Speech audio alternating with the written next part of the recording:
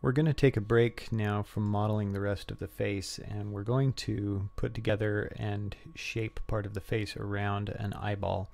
So to start off with I'm going to hide what we've been working on with the rest of the head here and we really probably don't even need our references other than for just size so we'll turn everything off and I'm going to create most obvious candidate for an eyeball shape, that's just going to be a UV sphere for a primitive here. Obviously it's way too big, so we can scale that down. At this point it's just arbitrary because I've turned my references off. Um, and in order to create the proper shape for the eyeball and also just for my own sanity in keeping track of where it's pointed, I'm going to rotate this in the x-axis by 90 degrees. So Rx 90 and then from a front view, we have the triangle fan at the bottom of this sphere pointed forward as if it were the iris of the eye. So we're basically going to kind of make an approximation of eyeball anatomy here by modeling both the sclera slash iris and also the lens of the eye. And uh, the sclera is the white part of the eye, we, what we call the whites of the eyes. So we're going to model that and we're going to model the lens and we're going to make them out of one object. You don't have to do it this way. You can have the lens and the sclera be separate objects if you want. I just find it a little easier to move things around and, and uh, keep track of things if I make it one object. So that's just my personal preference. That's how I'm going to show it to you. So to start off with, um, we need the geometry of two spheres. And um, we're going to kind of edit both of them until they're no longer spheres here. But uh, in edit mode, I'm going to duplicate this geometry first. So Shift D, and that loads my cursor with a copy of all these vertices. But I'm just going to hit Escape so that they don't move. And then I'm going to come in here in a wireframe mode and scale this. Sorry, I've got my proportional editing on. Scale this up very, very slightly so you can see a difference between the inner and the outer eyeball, but it's very, very slight. Okay, now speaking of proportional editing, I do actually need it here for a minute. So let's make sure, okay, I've got to grab the outer lens portion. Um, so I'm going to turn my proportional editing back on and make sure that I've unchecked, or sorry, that I've checked connected only so that when I pull this forward like this, I'm not going to be pulling the inner part, just the outer part, which I want to form the lens. So I'm going to create a little bit of a bulge here for the lens, just kind of like your actual eye has a little bit of a bump in the front. Okay, and then just to kind of make things easier on myself, I'm going to create a vertex group, or a couple of vertex groups. So let's create a new one. We'll call this lens. And since I have part of the lens selected right now, I can hit Control L, and that will select everything that's actually connected to that portion of the lens. We'll assign all these vertices to this vertex group. Now I can select a vertex inside on the sclera and select all of that. Create a new vertex group here. We'll call this sclera and assign all those vertices. What that allows me to do is I can come in here with my vertex groups and I can just select one or the other very quickly. And um, that's just for convenience. I may not even need it, but uh, if I do, I've got it. Okay, the next thing we're going to do is we're going to actually kind of make a Death Star type dent in the front of the iris. So I'm going to tap GY with this vertex selected. And again, I have um, connected only checked on my in my uh, proportional editing button here so that it's not going to bend the lens at all because the lens isn't actually physically connected to what I'm doing here. Okay, and that is probably good enough. So I'm just kind of making a little cone here. And let's actually hide the lens now at this point so that we can kind of see what we're doing here. I need a little more definition in here. So I'm going to select all these faces, and then inset, tap I to inset. Uh, and I messed up there, didn't I? There we go. Select all these faces, tap I to inset, and I'm going to move my, start my mouse far enough out that it'll actually have a decent effect there. And I'm just going to straighten out this cone and then extrude this. Boy, I'm really clumsy today. I'm going to extrude this entire thing back. I want to flatten it out. Probably don't need to, but SY0 will flatten that out for me. And then that's the shape I've created. All right, so um, at this point we've got a, I'll hit Alt-H to unhide the lens. We have a lens and a sclera slash iris pretty well created. That's actually really all the modeling that we need to do here. So now we're going to um, add our materials. So I'll go over to my shading workspace. And the first thing I'm going to do is shift to a rendered view because um, I want to be able to deal with the transparency and everything that I'm looking at here properly. We're going to smooth shade our eyeball here and add a material. And this material is going to be called eyeball underscore lens. And it's going to be a pretty easy material to create. Um, its transmission is going to be really high so that it's basically just perfectly transparent and its roughness is going to be quite low. And its index of refraction is set to 1.45. If you Google the human eyeball's index of refraction, you'll see it's about, if I remember correctly, 1.37, or it might be 1.357.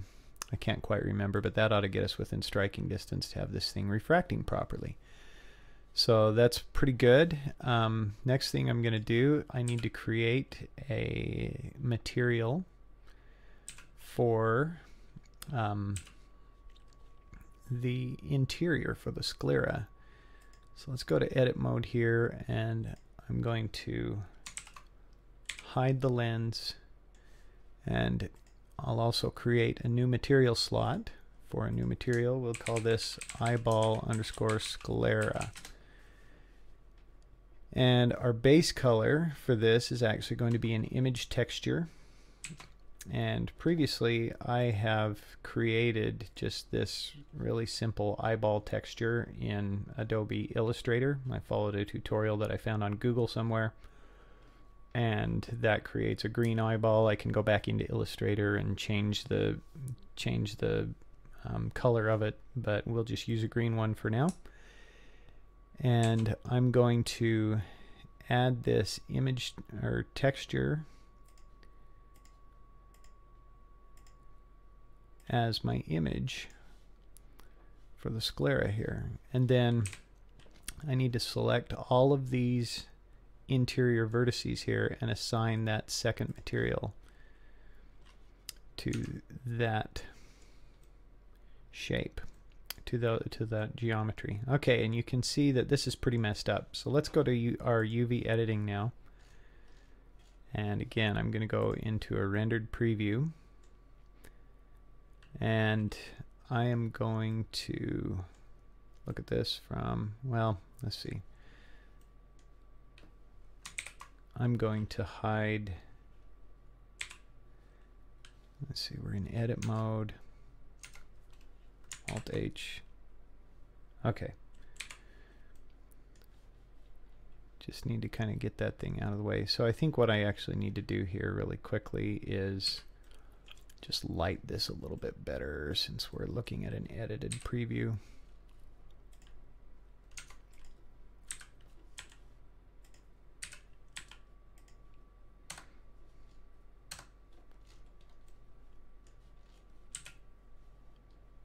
Okay, that's a little better now. So let's tab into edit mode and we can select all of these vertices and you can kind of see the problem here.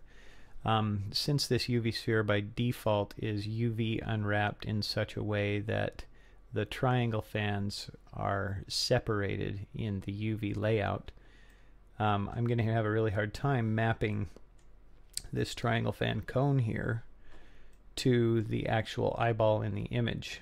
So all I really need to do there is select this center edge loop and go to my edge menu or control E and mark a seam. Then just select a face on one side of that and control L will select all of the faces on this side of the edge loop. And from there I can just unwrap this again. Or if I want to be a little more precise I can go to a front orthographic view and tap U and unwrap project from view that will allow me to come over here and start really lining this up pretty well.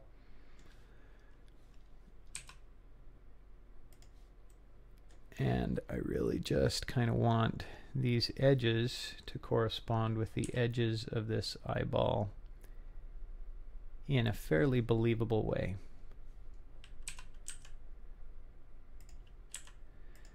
Okay, and then I want this central loop here to kind of correspond with the pupil in the center. Okay, and that actually looks pretty good. Now, from back here, you can see that we're still mapped really oddly. So let's Control I to invert our selection. You can see why that is. And all we really need to do with this is just scale it down and get it out of the way. It's all, all these pixels are the same value anyway. Okay, so now if I unhide the lens portion, you can see that we've created an eyeball here.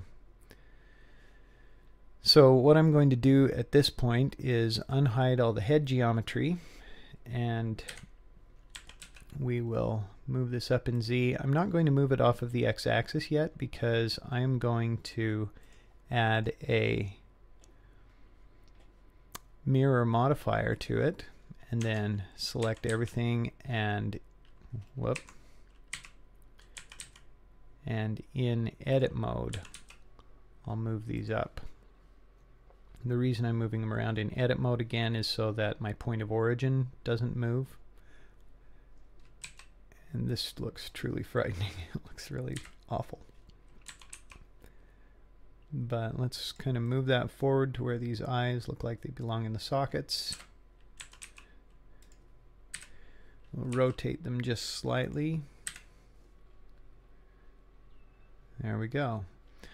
All right, so now from here, um, I'm going to go to my object data and my viewport display and turn on wireframe for these eyeballs and that will allow me to kind of be able to still get a sense of the gaze of the eyes.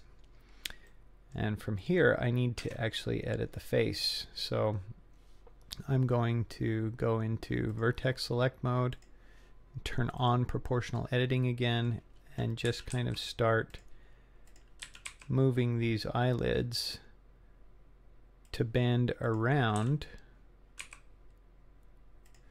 the eyeball and I'm just tapping GY over and over and over again.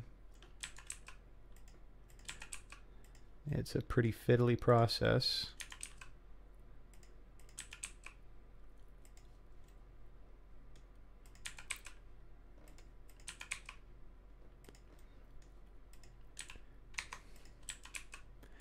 But in the end, it gets us there pretty quickly.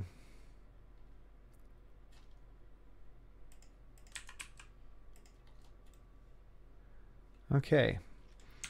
Now, at some point in my modeling of a face, I always end up turning on a subdivision surface modifier and turning on the edit cage results here so that you can see once again that affects it. That makes a difference in how it conforms to the shape of the eyeball. And so you have to come in here and readjust. So this is actually a good time to kind of do that, to turn on your subsurf modifier so that you can sort of see how that's going to work. And then you have to give the eyelid a little bit of thickness. So I'm going to extrude and then move back in Y. Let's probably turn off our proportional editing for this one. And then I'll kind of make this fan out in the back. Extrude and scale it up.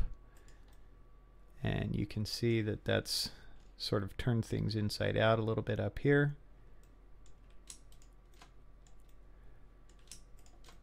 So we'll try to fix that. We'll deselect some of these faces on the inside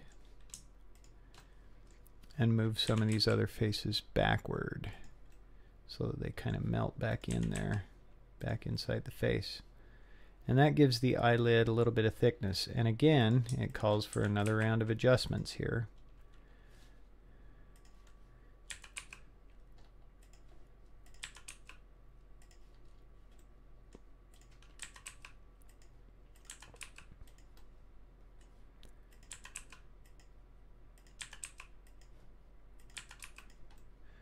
That makes it look a little bit better.